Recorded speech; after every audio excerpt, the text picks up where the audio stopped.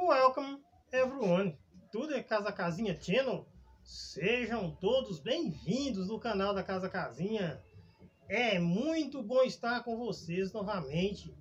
E aqueles que estão se inscrevendo no canal da Casa Casinha, sejam todos bem-vindos no canal da Casa Casinha. Hoje eu vou estar respondendo aqui a pergunta de Cida Reis. Ela me perguntou: a minha samambaia está amarelando a folha demais? Minha paulistinha Posso podar agora ou podar em agosto? E parou de brotar.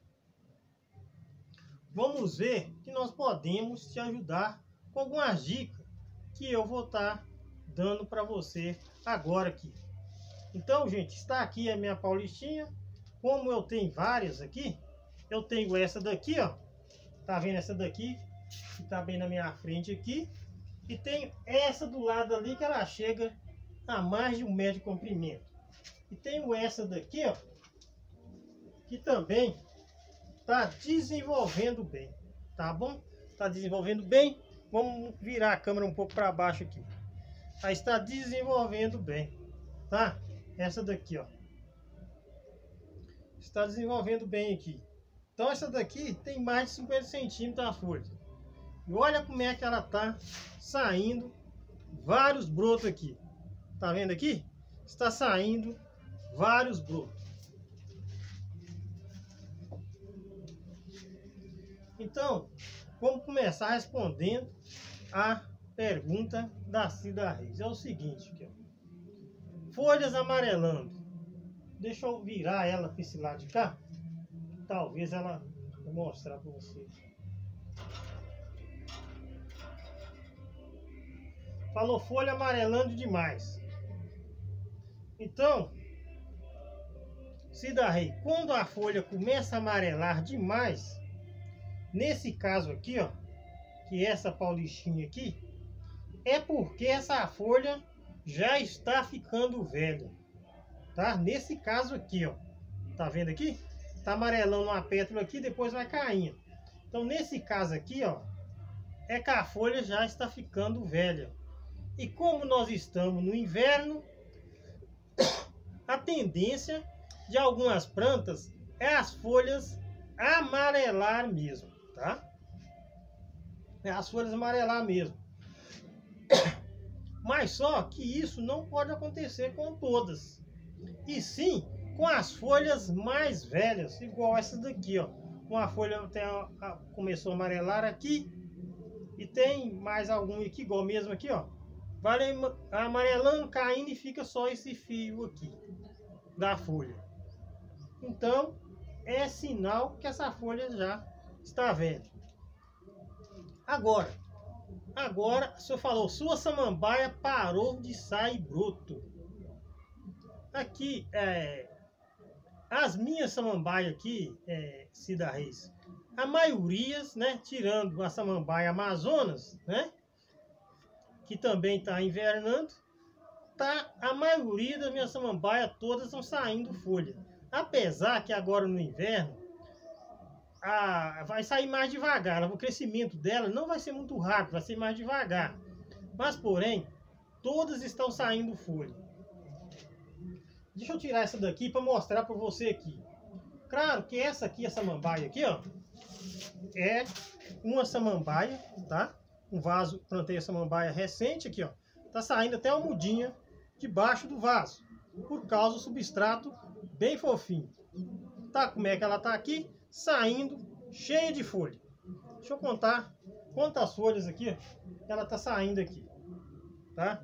Tem aqui uma, duas, três, quatro, cinco. Tá saindo cinco folhas, tá? Cinco folhas. Então tá continuando sair folha. E olha o substrato que eu tô usando aqui, ó, é a serrapilheira. Tá? Deixa eu voltar ela pro lugarzinho dela aqui. Essa daqui também tem folha aqui, que ela tá aqui, chegando aqui, quase um metro de comprimento. E particularmente aqui, ó, saindo também uma folha dupla aqui, tá? Isso aqui, saindo uma folha dupla aqui. Raramente acontece isso, mas aparece sair folha dupla. Não de toda a muda, mas porém nessa daqui saiu folha dupla. Vamos continuar respondendo sua pergunta? Então, tá aí, né? Porque a folha tá amarelando. Você falou que não tá saindo broto. Não sei como está a sua samambaia paulistinha aí, Cida Reis.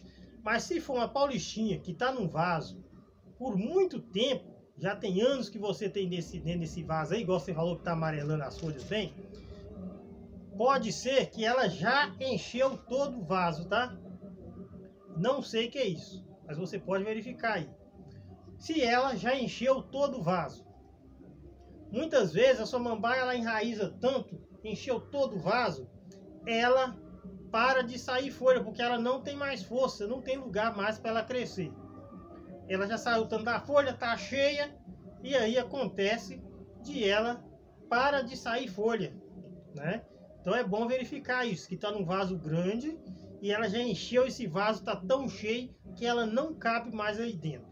Então é sinal também que você deve mudar para um vaso maior ou tirar a muda dela para não perder a espécie.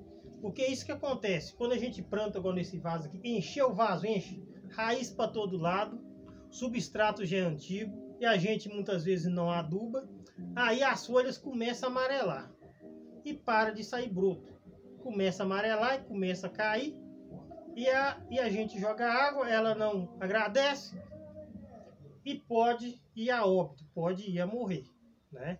Pode ir a morrer porque aí ela já não está sugando mais aquelas águas, as raízes começam a morrer, a apodrecer, e aí também o miolo, o lugar de sair a folha, também acaba morrendo, e aí você pode perder a sua samambaia paulistinha, que falamos aqui que ela não está nesse ponto, e você falou que ela não está saindo folha, tá?